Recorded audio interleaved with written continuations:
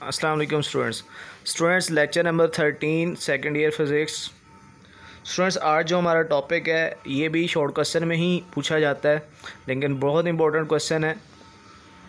अच्छा देखें स्टूडेंट्स, इसमें आपको जो शो करना है, वो आपको शो करना है कि E is equals to electric field is equals to minus del V over del R students, यहाँ पे ये जो डेल ओवर डेल आर है, ठीक है स्टूडेंट्स इसको हम ख़त्म करके अगर आप नेक्स्ट में देखें तो मैंने लिखा हुआ है ग्रेडियंट ठीक है? वी उसी तरह लेकिन डेल ओवर डेल आर को ख़त्म कर दिया और उसकी जगह क्या लिख दिया है? ग्रेडियंट तो स्टूडेंट्स ये जो डेल ओवर डेल आर है, जिसको हम ग्रेडियंट बोलते हैं, इसका मतलब क्या है? तो स्टूडेंट इसका मतलब हमने लिखा है कि change in a quantity with respect to distance student देखें फ़र्स्ट ईयर में आप लोगों ने वेलोसिटी सीखी। वेलोसिटी क्या है? चेंज इन डिस्प्लेसमेंट लेकिन किसके लिहाज से? टाइम के लिहाज से। तो स्टूडेंट्स जब हम किसी भी चीज़ में चेंज तो फाइंड करें, लेकिन किसके लिहाज से फाइंड करें? डिस्टेंस के लिहाज से फाइंड करें टाइम के लिहाज से नहीं। यहाँ पे नीचे आर लिखा है और आर यहाँ पे क्या है? दोनों प्लेट्स के दरमियान का जो डिस्टेंस होता है। तो स्टूडेंट्स अगर हम किसी भी क्वांटिटी के अंदर चेंज फाइंड करें, लेकिन किसके लिहाज से? डिस्टेंस के लिहाज से तो हम इस चीज़ को फिर क्या नाम देते हैं? ग्रेडियंट का नाम देंगे। अब स्टूडेंट्स इस चीज़ को प्रूव करने के लिए स्टूडेंट्स डायराम देखें। डायराम में आपको दो प्लेट्स नज़र आ रही हैं, एक प्लेट ए और एक प्लेट बी स्टूडेंट्स दोनों प्लेट्स के दरमियान जो हमने गैप रखा हुआ है, वो हमने रखा हुआ है डेल आर स्टूडेंट्स ये डेल आर का मतलब ये है कि यहाँ पे जो डिस्टेंस है, जो गैप है, वो बहुत स्मॉल है। और स्टूडेंट इसकी रीज़न ये होती है कि देखें, हमने पढ़ा है कि जो इलेक्ट्रोस्टैटिक फोर्स है, वो डिस्टेंस के साथ इन्वर्सली प्रोपोर्शनल है। अब स्टूडेंट्स हम लोग डिस्टेंस को इतना स्मॉल रखते हैं कि फोर्स पे कोई ख़ासा फ़र्क ना पड़े। यानी कि डिस्टेंस को हमने इसलिए स्मॉल रखा ताकि फ़ोर्स क्या हो जाए फोर्स क्या रहे स्टूडेंट्स वो हमारे पास रहे कांस्टेंट रहे। ठीक है? अब स्टूडेंट्स दरमियान में हमने रखा है एक यूनिट पॉजिटिव चार्ज इस पर जो इलेक्ट्रिक फोर्स लगेगी स्टूडेंट वो लगेगी in the direction of electric field ठीक है? ये एफ़ ई इलेक्ट्रिक फोर्स वो लग रही है डाउनवर्ड डायरेक्शन में। अच्छा अब स्टूडेंट्स अगर हम चाहते हैं कि हम इस चार्ज को पॉइंट ए से प्लेट ए से हम प्लेट बी की तरफ़ लेके जाएँ तो स्टूडेंट्स हमें इसी फोर्स के इक्वल बट ऑपोजिट एक फ़ोर्स लगानी होगी। स्टूडेंट्स यहाँ पे देखें, मैंने लिखा है कि जो फोर्स आप लगाओगे एफ़ वो हमारे पहले से मौजूद जो इलेक्ट्रोस्टैटिक फ़ोर्स है, इसके इक्वल होनी चाहिए। ठीक है स्टूडेंट्स ऐसा क्यों है स्टूडेंट्स के देखें हम लोग, अगर ये फ़ोर्स इक्वल ना हो तो फिर क्या होता है कि चार्ज के अंदर इलेक्ट्रोमैग्नेटिक वेव्स पैदा होना शुरू हो जाती हैं। और स्टूडेंट्स हमने यहाँ पे अवॉइड करना होता है कि इलेक्ट्रोमैग्नेटिक वेव जो है वो प्रोड्यूस ना हो।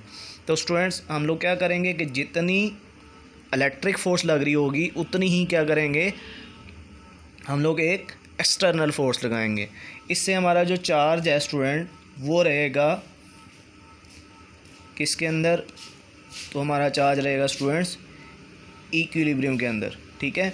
इस चीज़ की आपको डेफिनेशन इलेक्ट्रिक पोटेंशियल की डेफिनेशन में भी आपको बुक में नज़र आएगी कि जहाँ पे लिखा होगा कि work done on a unit positive charge to move it from one point to another keeping the charge in equilibrium ठीक है? यानी कि हम चार्ज को किसमें रखा करेंगे हमेशा?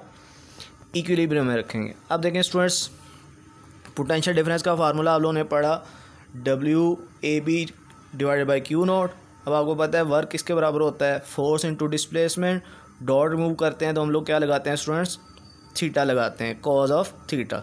अब यहाँ पे स्टूडेंट्स थीटा कितना आएगा? तो स्टूडेंट्स देखें, जो इलेक्ट्रिक फोर्स है स्टूडेंट वो किधर एक्ट कर रही थी? डाउनवर्ड डायरेक्शन में।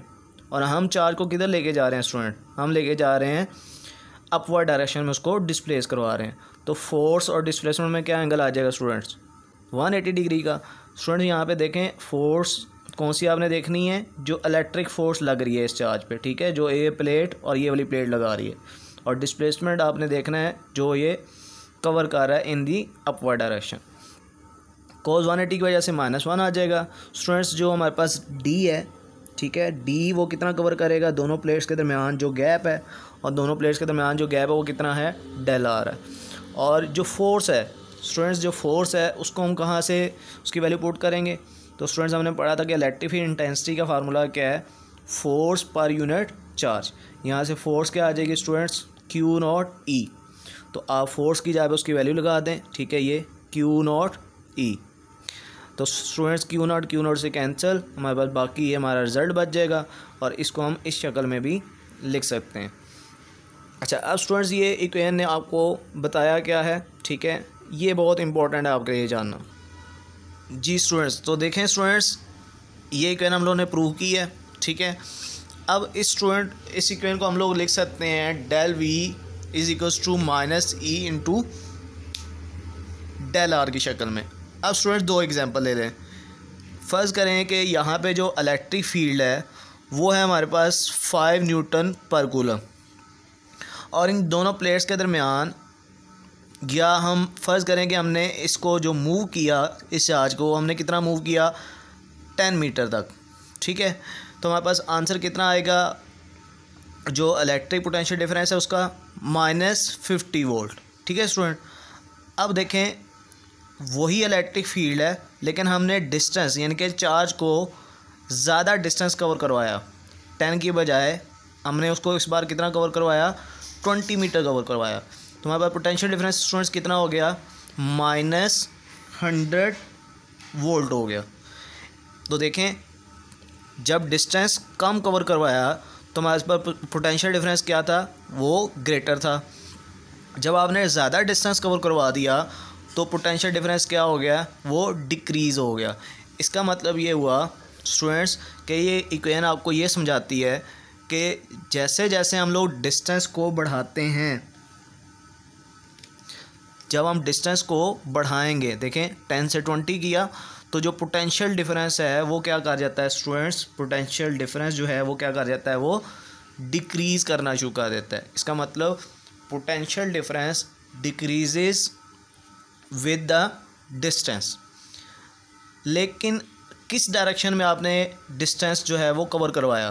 क्या in the direction of electric field करवाया, या opposite to the electric field तो स्टूडेंट ये जो माइनस का साइन है ठीक है, ये जो माइनस का साइन है, ये आपको यहाँ पे ये बता रहा है कि जो आपने मूव करवाया है इस चार्ज को, वो आपने मूव करवाया है in the opposite direction of electric field तो स्टूडेंट इस चीज़ को अगर मैं यहाँ पे आपको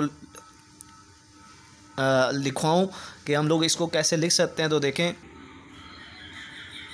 जी स्टूडेंट्स तो हम लोग इसको इस तरह लिखेंगे कि जो इलेक्ट्रिक पोटेंशियल डिफरेंस है, वो डिक्रीज़ करता है किसके साथ?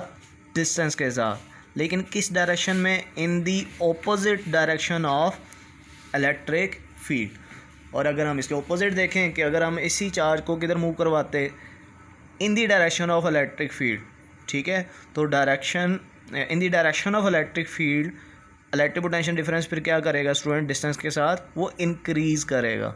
ठीक है स्टूडेंट्स तो ये हमारा था आज का टॉपिक इंशाल्लाह नेक्स्ट हम बहुत इंपॉर्टेंट लॉन्ग एक सीखेंगे।